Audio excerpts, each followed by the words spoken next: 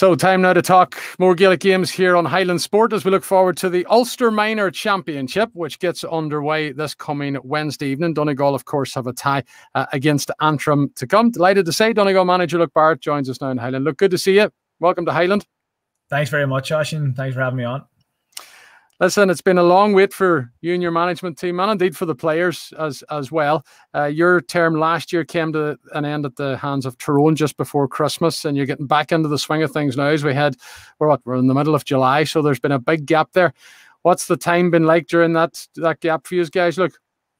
Yeah, it's it's been challenging. There's no doubt about it. Um, I think that that lockdown period over Christmas really um, had a negative effect on a lot of things. So it did, but um, no, look, we we have a completely new squad here. It's it's it's going to be very interesting because you know um, we were planning originally for probably a championship around the end of the the end of the year, and suddenly within a couple of days you're told no, it's going to go ahead quicker, and then a couple of days later you're out in the training pitch trying to get um, a squad together, and, and, eight weeks later then it's championship. So um, it was a very long wait, and then it's happened very very quickly. So um, I think that's I suppose a bit of positive and negative. Yeah, and I suppose the whole disruption and the delays was all based around what's happening in the pandemic and, and COVID 19. How worried are you with the current COVID situation? Uh, look, going into the next number of weeks, and obviously the fear of this Delta variant? Yeah, look, the reality is we've the unfortunate position we're in uh, with minors as well is that there's no real control over it. Um, you know, we we try to keep them as you know informed as possible and the best way to look after themselves and things. But you know you, have got particularly at the start of it like you had guys coming from um, all different schools all over the county You've got um, you know parents involved as well. You know where it's a senior level or under twenty level, maybe they they could isolate themselves a little bit more from parents and things like that. There, older siblings maybe going out now and socializing at the weekends and things like that. There, and listen, there's absolutely nothing we can do about that. And and I suppose you like as I said, young people have to get out as well. But um, it is a constant worry. There is no doubt about it. Um, but to be fair to the fellas, like they have they have given a very str- um, strong commitment over the last couple of weeks, and, and to be fair to them, that none of them um, they're very weary of what's what the implications of, of a COVID incident in the squad. So um, they seem to be looking after themselves uh, well. So please God that can continue. Yeah. Uh, from the squad that you had last year that disbanded towards the end of the year, how many players have actually come over and, into this year's squad? Because you did mention at the start of the interview that it's basically a new panel you have. Has there been many that, that stayed around?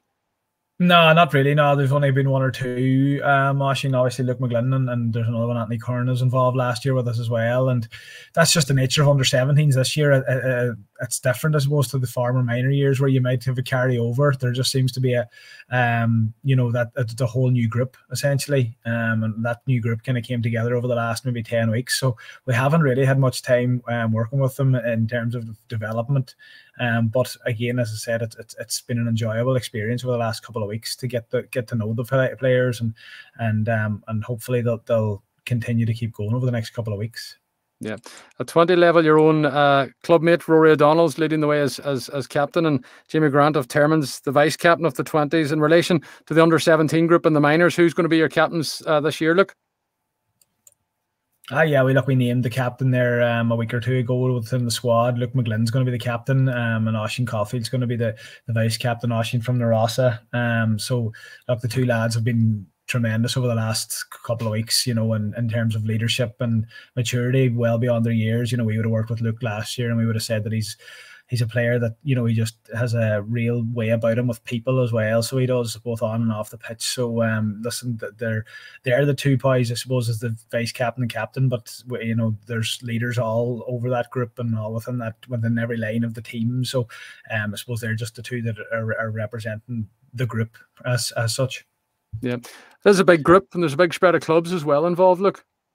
Yeah, there is. I think we have about 14 or 15 uh, clubs in, involved. Um, you know, I suppose the nature of it, um, we would have found that essentially this group here would have um, missed out in football last year completely. They played one game in the Buncrana Cup, but was disbanded after that. They played no club football last year. The under 15s would have had maybe one, maybe were on trial period for the um, to get into the academy setup. That was pulled. They didn't have any football last year as well. So this group here, essentially, you're looking at a brand, uh, a, a group of players that probably haven't really played competitive football in nearly 18 months, um, bar the couple of, of challenge games and the club football that they've played over the last couple of weeks. So um, it's amazing to see the development rate uh, within even within that couple of weeks. You know, there's um, there's guys that have just they seem to be growing in front of your eyes. Um, there's players that would have been involved last year that aren't involved this year for various reasons, injury, um, things like that. There and, and there's players then that have you know over lockdown have completely dedicated themselves to making themselves better footballers, and, and they've come to the forefront as well. So there's a really nice mix and balance within the squad. Um,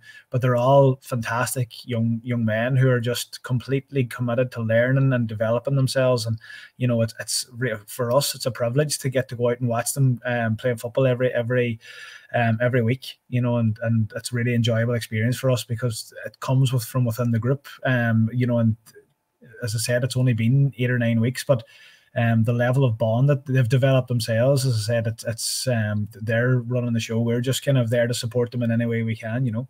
Yeah, uh, obviously, getting into the championship is a bit unknown for the likes of yourselves and Antrim. You've had no league bases to go on this year. Look, you've had a handful of challenge games. Uh, how do you go about picking your strongest team for Wednesday night, or, do you know who your strongest team is at this stage? Um, I suppose the answer to that is no, we don't. Um, you know, we've we've been we would very much be in um, a, a way of thinking that every evening that we train as an opportunity for a player to put up his hand and claim a jersey, um, both in the starting 15 or be it someone who comes in um, to finish the game or whatever the case may be. It has been very difficult. There is no doubt about it.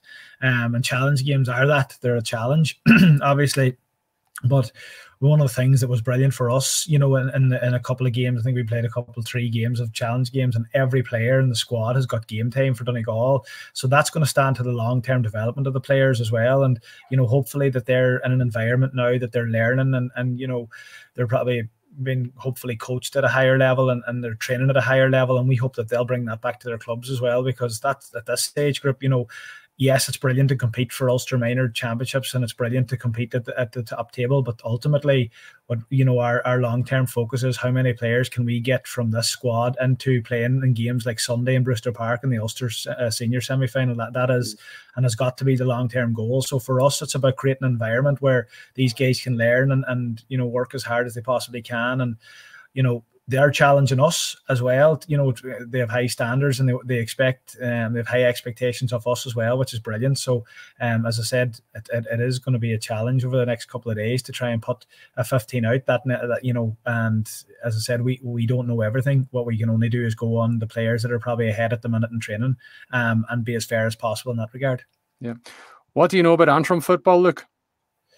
Um, I suppose I know a, very little. My own personal experience with Antrim and, and, and minor squads, both as a player and, and um, as a coach, has not been very um, successful, and it's been quite disappointing. In 2017, obviously, we lost in the first round to in Ballybofey after extra time by a point, which was um, gut wrenching at the time. And then as a player in 2011, I was involved where, where, we were, you know, probably look, the reality is we were outclassed that day. We probably didn't have the work done that we we should have done. But um, so over the last 10 years, you know, Antrim have come to Ballybofey twice. And, and again, 2016, we were lucky to get out of Corrigan Park. So I suppose there's a slight ignorance to, to the knowledge that everybody thinks that Antrim football maybe you know wouldn't be as strong, but you know an underage, the club structure up there is very good, and the schools football up there is very good. So that you know Antrim minors have um, historically been very very strong, um, and their development squads are, are, are, working away as well. So um, there's a real unknown. We don't know what's coming. Um, we know there's a couple of players that have been really good in schools football over the last couple of years. Um, and we know that the one game they played in the Buncrana Cup last year, they won convincingly against Antrim, so or against Armagh. So um, in terms of that, it's very difficult. It has been very difficult to prepare. Um, I suppose from a coaching point of view, in terms of a player point of view, these guys, we focus on try to focus on ourselves completely and, and getting our own house in order um, as much as we can. And that's the the, uh, the great thing with minor footballers is they want to go out, they want to play, they want to express themselves. You know, they want to put on that jersey and and and do their absolute best in it. They're not too worried about, you know, um, tactical analysis of the opposition. That you know, as long as we have our house in order, you know, and, and give them the opportunity and then create the environment for them to thrive. Hopefully, that um, they can deliver a really good performance because that's what all we've been focusing on. Completely development as much as we can, and and you know, every day that they get better and improve. And, and if we keep doing that there, I think we'll not be far away.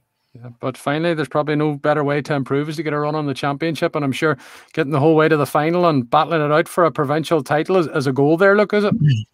Listen, these boys set their own standards, so they do. Um, it's very interesting. I was listening to a, an interview recently with a, another manager, um, Keith Ricken, in the Cork, and, and like, you know, people think it might be a cliche. It's not. They genuinely do have high standards for themselves.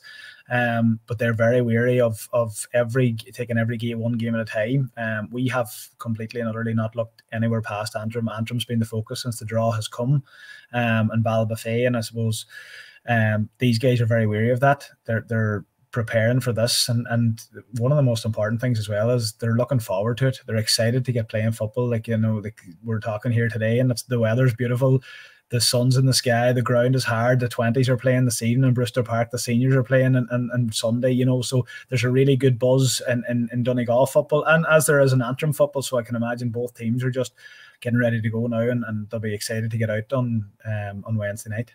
Okay, listen, look, many thanks for talking to us, and we wish you all the best for the Ulster Championship, which starts on Wednesday. No problem, Oisín. Thanks very much.